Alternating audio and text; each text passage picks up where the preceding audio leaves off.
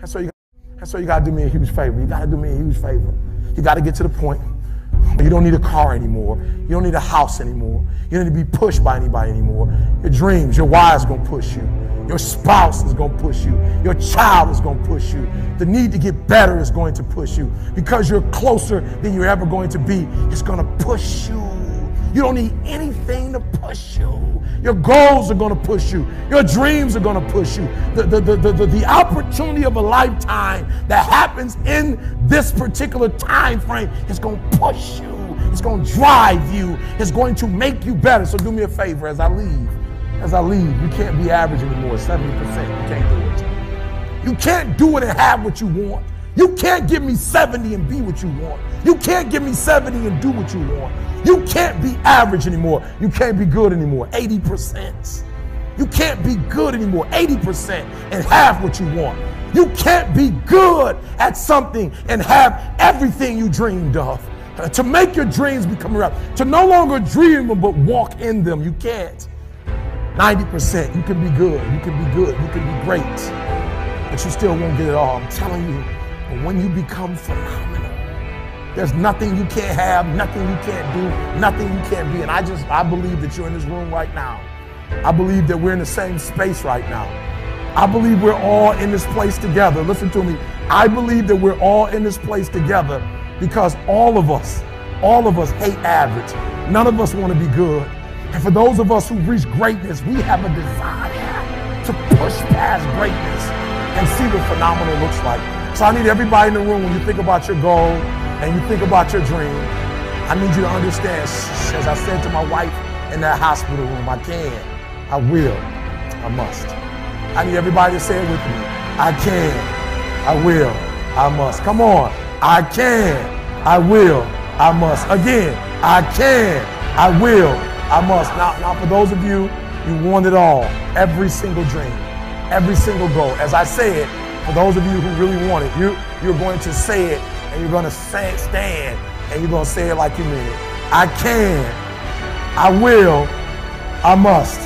Come on. I can, I will, I must. Come on. I can, I will, I must. Now say it like you mean it. I can, I will, I must. Again, I can, I will, I must. Again, I can, I will, I must. Now I need you to think about that loved one, that that that that individual that you have to do this for. I need you to say it with me. I can, I will, I must. Come on, for that individual. I can, I will, I must. For that person, I can, I will, I must. For that thing you want to accomplish, I can, I will, I must. Again, I can, I will, I must. Now I want you to think about that hurdle. I want you to think about that thing that keeps pressing you down. I want you to think about that, that mountain that's hard to climb. I want you to think about that thing that you just can't seem to get over. We're going to get over it today. We're going to get over it. We're going to get over it together. I can, I will, I must. Uh, we're going to add to it. I can get over it. I will get over it. I must get over it. Ready? I can get over it. I will get over it. I must. Come on, come on. I can get over it. I will get over it. I must get over it. I know something about you. I know you're not a quitter. I know you're a survivor. I know you're a survivor. If you're watching me right now, I know something about you. You are a survivor. So I, I, want you to get off this. I want you to cut it off. I want you to go in the mirror and I want you to make the rest of your life the best of your life. I can, I will, I must. It's your boy E.T. I don't care what you've been through. I don't care who you are. I don't care where you came from. I don't care what your past is like. I don't care what your stress is like. I don't care what stress you're under. I don't care what problems you have right now. I don't care what you don't have right now. All I care about is what your mindset is like in terms of today and your future. Are you going to make today count? Because that's all you can control. And that's all that matters. It doesn't matter where you start, guys. It doesn't matter what talents you're born with. It's about where you finish. And this race isn't over. It's not over. You could still come in first in the marathon. But you gotta start today. You gotta start now. You have everything you have. Everything you need is inside you. It doesn't matter what you don't have now because you can go get it. But it starts today. It starts with a commitment. It starts with a principle. It starts with a discipline. It starts with effort. It starts with energy. It starts with an idea that you're going to make today count. And a lot of people want to know what my routine is like. Well, it's predicated on that idea that I'm going to make today count. And that means that before everyone is up, I'm going to have entered a peak state already. I'm here to help you. But you have to help yourself. No one's going to do it for you in terms of the action. But you gotta say something with me. I'm going to make this thing work. I'm going to live out my dreams. I'm going to live out my purpose. I'm going to be who I was destined to be. I'm going to fulfill all of the tasks necessary to live out that purpose, to become who I really want to be. Not be who I am shackled by in the past. Not live in a world of constraint. I didn't come this far to only come this far. I hear some people saying things like, when I make it, when I get to the top. I'll keep working hard until I get to the top, until I reach my goal. Let me tell you something. There's no end. Winners never stop. If you reach your goal, set a bigger goal. If you get to the top of the mountain, find a bigger mountain. It's the journey, the continued pursuit of growth, the constant seeking of improvement, the challenge. That's what makes life great. That's what makes a fulfilled life. I didn't come this far to only come this far. When I get this goal, I'll seek more. Not more things, more growth constantly pushing myself to be better. I didn't come this far to only come this far. I came this far so I could be strong enough to go further. So I'll be good enough to push myself hard. I'm only getting started. This is just the beginning. I'm proud of my achievements, but that doesn't mean I'll settle for them. Proud, never satisfied. Proud, but forever hungry. Proud and always ready. Proud, but pushing. Pushing for more. Pushing for great. A true winner doesn't seek only the title. A true winner seeks growth. A true winner seeks greatness. It's the journey. It's the challenge. Don't tell me it's over. I'm just getting warmed up. If the journey wasn't challenging, the destination wouldn't be rewarding. It's the challenge that makes the greatness. You can't have a champion athlete without great competitors pushing them all the way. You can't have the greatest of all time without champions pushing them all the way. It's the journey, the process that makes the greatness. If you reach your goal, set a bigger goal. If you get to the top of the mountain, find a bigger.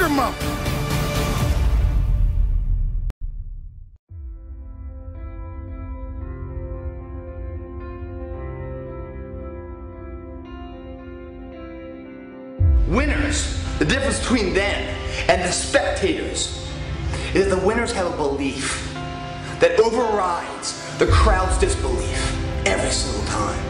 Their belief is so strong, even though they hit failure, they get knocked on the ass. They're finding the intestinal fortitude to stand back up again, face that same challenge, learning from the previous mistakes, and make it happen. You come in here headstrong for this workout. It's going to take everything. This is madness. This is a, this is a super cycle workout. But if you have it up here and you go through it out there, guys, you will leave here not only physically dominating, but mentally unstoppable. It all starts today if you're ready to transform. You must believe in yourself enough to be the person now of what others will remember you for later. You know, a lot of people don't know that. They sit there and they do, they put the effort in because they want to change, right? They put all this effort in, you know, to do what they think is right, but they haven't done the back research preparing it to make sure their effort is accordance of where they want to go in life. So they end up just doing random, they put the dumb in random then because they don't even know what they're really doing because they haven't studied it. They haven't prepared for it. And when you fail to prepare, you basically are preparing to fail. It's not about how you can look in the mirror. It's how you feel right now that, you did it right today. You're alive, man. That you're actually doing something. You're making a difference in your life.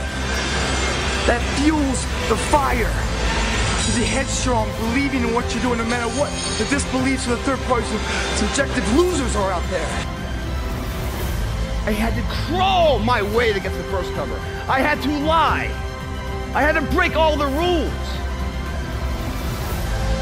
shoulder, tricep, superset. Super madness, man.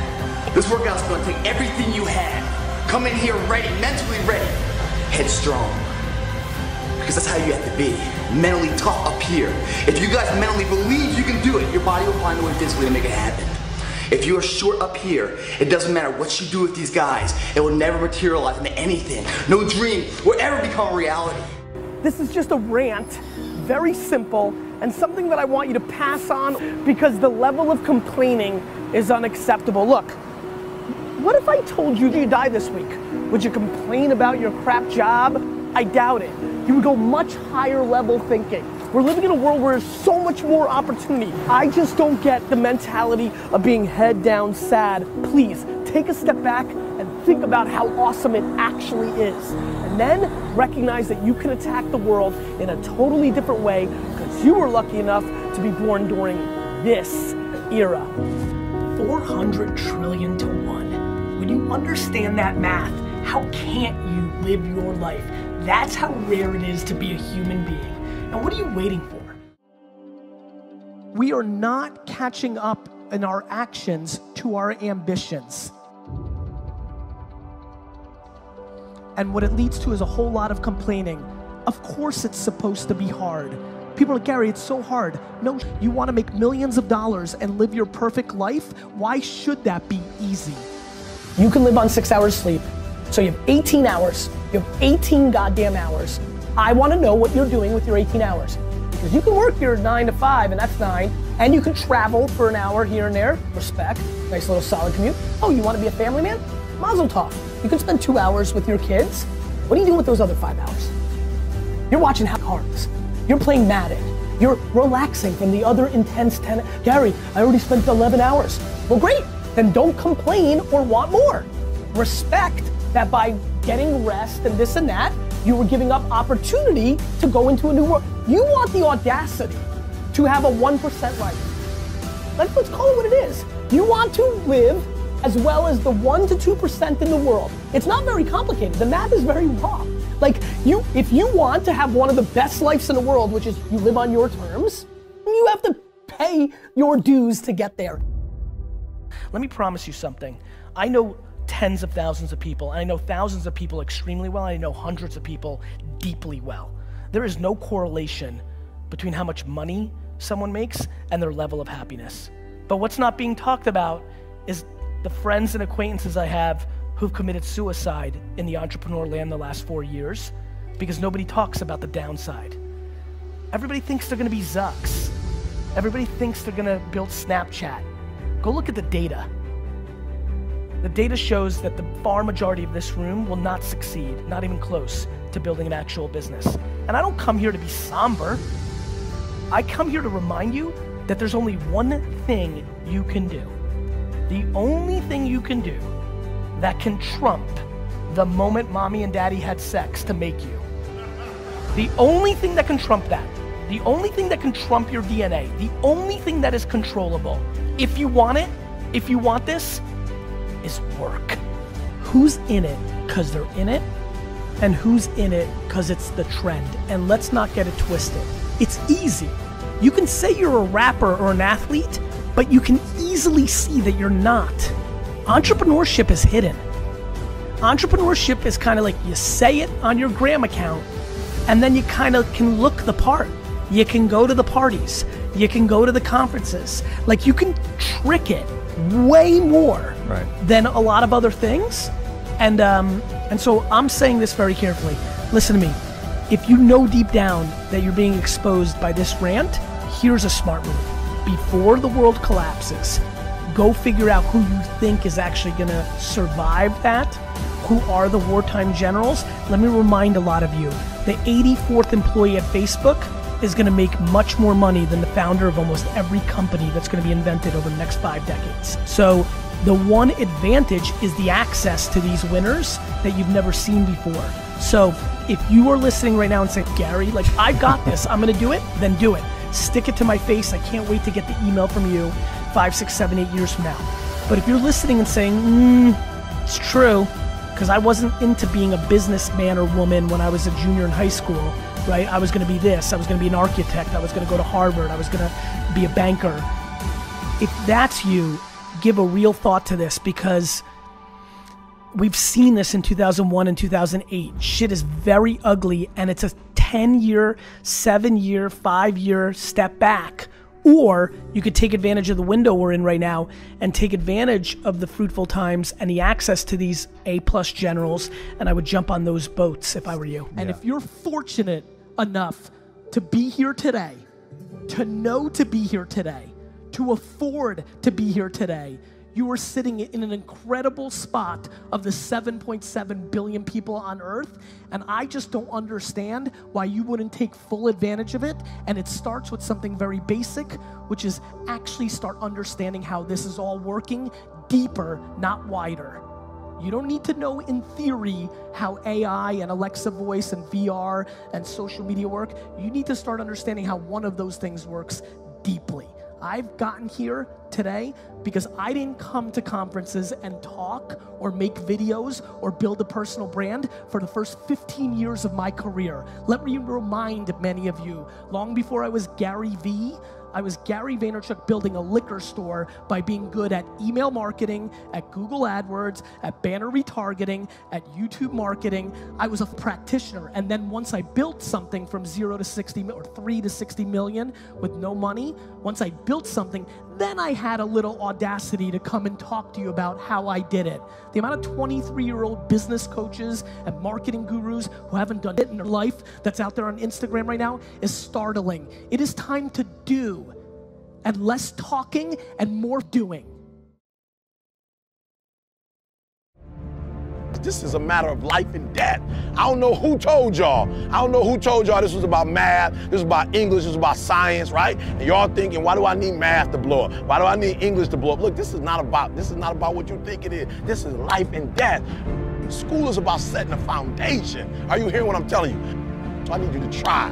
I need you to try to read every single word. If you don't know it, write it down, look it up. I need you to try to do every single assignment. I need you to try to go to every single class. I just need you to try because I know something about you. I know something about you. I know when you put forth 120% effort, it ain't nothing you can't do. It ain't nothing you can't accomplish. I don't want you to live to die no more. I want you to die to live because I know if you try, I know if you put forth 120% effort, it ain't nothing you can't do. but live in a world of freedom. And that's yours to have. That's a choice that you can make. That's a decision that you could follow through on, that you could carry out. You gotta wanna make this thing work for you. You gotta make today count. What are you doing with your time? Are you wasting it? Are you going to make today count because it's precious? Or are you going to let it just slip away? Let it fade. You need to be in a peak state at all times. That's going to be predicated on your will, your intensity, your integrity, your character, your energy, your effort to get what you want out of this life. It's on you. It's hard to put the effort in to create greatness. But it's a lot harder to accept the reality that you could have been great. I want you to know something. That the bigger your dream is, I want you to understand the harder the grind. Listen to me. Luck is for leprechauns, and you ain't green. Luck is for leprechauns, and you're not green.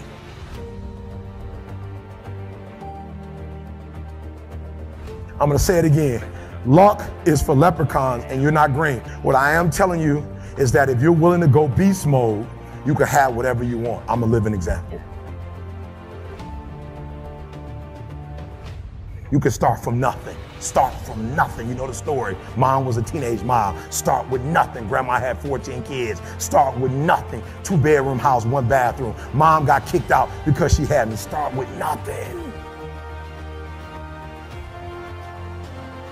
Start with nothing, high school dropout. Start with nothing, homeless. 12 years to get a four year degree from the university. Start with nothing if you are willing to grind. I believe effort, and you've heard me say it. You might come from privilege. You might have a father that can give you everything your little heart desires, but you will not outwork me.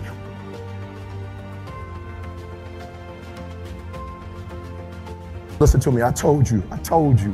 I told you, I want you to think about those goals. I want you to taste them. I want you to, I want, I want you to be, I want you to internalize it. I'm not asking you to tell me what your goals are because I'm interested in hearing everybody in the room. I couldn't, I couldn't possibly do anything with it. Listen, this is what I'm telling you. I'm telling you to dream your dream because I want you to feel it. I want you to taste it. I want you to know how close. I, w- I want you, just like when the weather is changing, you can feel it. I want you to be able to feel when you're getting closer to it and closer to it. But more importantly, I want you to know when you dream your dream that there are other people who are dreaming the exact same dream. You might be the ant, and the ant has very little, but he's determined. He's strong. He has a dream and a goal, and he'll do whatever it takes. And I need you to understand that the bigger your dream is, the earlier you're going to have to get up.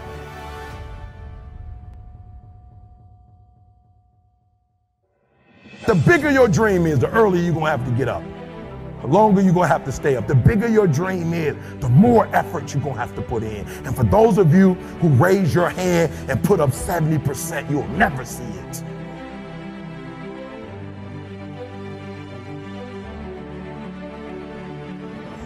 You'll never see it for those of you who are 70%, 70% beast mode, 30% gazelle.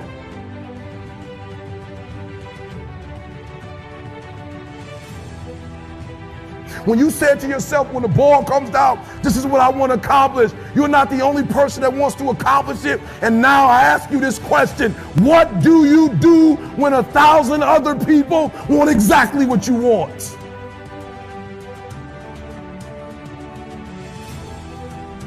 What do you do when you're not the only one that wants to make a million dollars in your company? You're not the only one that wants to be the president. You're not the only one that wants to be the CEO. What if you're not the only one that wants what you want? What if there are thousands of other people who want what you want? You have to outwork them.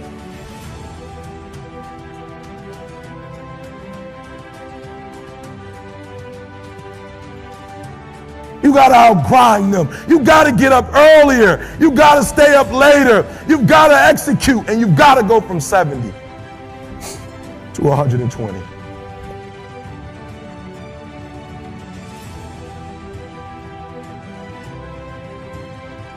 No excuses, guys. I wish I could. I wish you could pay me thousand dollars today, and I could tell you 70% is enough. I wish you could pay me 1500. I wish you could pay me 1500 but it's not going to happen.